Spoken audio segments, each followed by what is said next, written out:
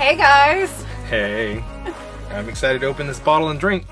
I'm excited about opening this bottle too. What are we drinking?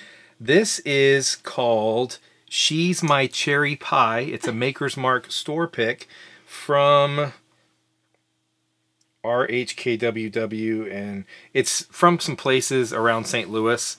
Uh, Papa Joe picked this up for me. Uh, I bought it from him. Thank you so much, Papa Joe. But this is something that's supposedly fantastic. It's The pick they did, I think they did one before, and this is the second version. And I, I, I think it's the St. Louis Bourbon Society in partnership with with a restaurant slash uh, store that sells bourbon. Can I just say that I'm really excited to taste it? I hope it. I hope it tastes the way it sounds. Jamie, Jamie, Jamie, Jamie. What? Shh. We have to listen to the cork pop. You almost elbowed me in the face. If only I would have done it. I try to get like way in here because you told me it makes me look skinnier if I'm in the middle. It's true. That's why I always hog the middle. So I poured mine first because I'm a gentleman. I can already smell it. It smells good. I smell cherry. Oh yeah. It does smell like cherries. Really? It smells like chocolate cherry cordials. Like those cherry covered chocolates. Like with Those the cream so with the like sugary cream sauce in the middle. Mmm. I like that. Uh, I'm excited for this one.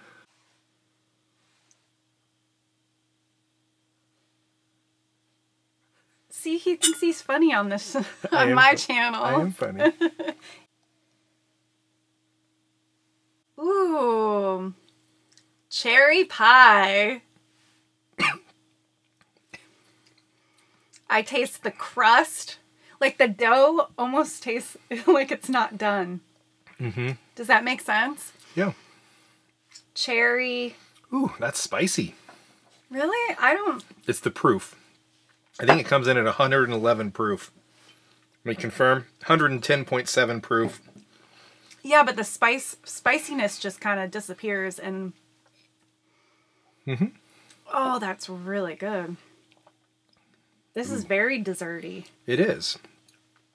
So for those of you that care, the stave profile is one baked American, three seared French, one Maker's 46, one roasted French, and four toasted French spice. So that's how they made it. They took a barrel, they put those staves into it, let it sit for four months in that cool cave we went into.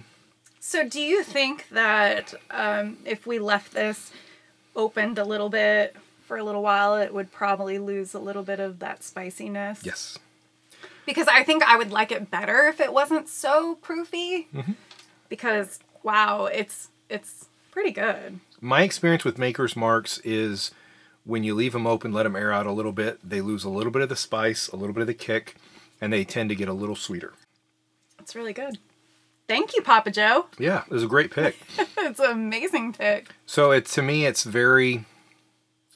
It's got a nice like, not like a candied cherry, but it's like an actual fresh cherry. Fresh cherry. It's like fresh cherry with. I'm getting I'm getting quite a bit of spice, still.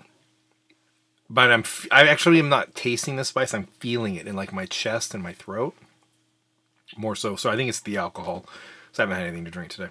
Somebody's not able to hold his proof today. I guess not. That's good. It is good. I can't believe how spicy it is, though. So when I say uh, like a soft dough, not cooked dough, do you know what I mean by that?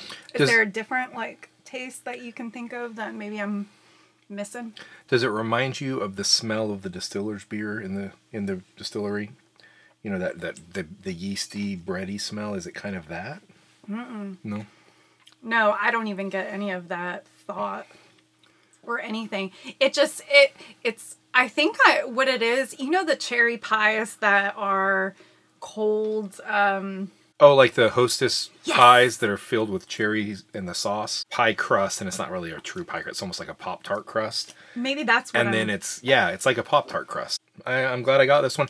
I've got a lot of Maker's Mark stuff, so um, but this one came highly recommended, and it, it's actually really good. It's a, one of the better Maker's Mark stave profiles that I've had of late. So I'm glad I got it, but uh, have too Yeah. many of them. So Jamie's gonna have to put this one on her shelf. I was about to say, I think I'm gonna put this on my shelf, let it uh simmer down with that spice for a little while. Mm-hmm. Well, we have that chocolate, the milk chocolate truffle one that we got at the distillery. So and these, that one's really good too. yeah, so this and that can be yours on your shelf. I hope everybody's enjoying their weekend. David, are you enjoying the weekend? Uh, it's been fantastic doing chores and working. Yeah, true. Anytime you want me to come down and drink in the speakeasy, I'm your man. And thank you all for watching. We'll see you next time. Way back a year ago